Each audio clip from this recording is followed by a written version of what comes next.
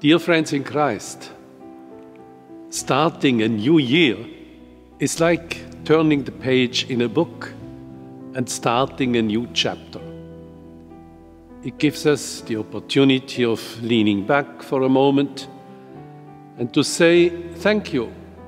Thank you to God, to many people who crossed our way during 2014.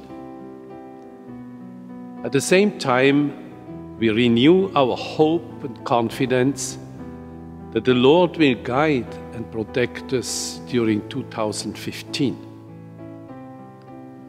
Let us start it in a spirit of peace and love.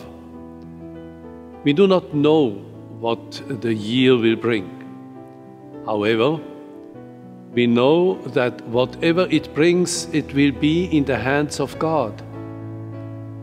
That should be enough to console us and to give us strength.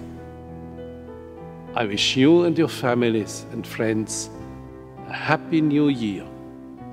May the Lord bless you.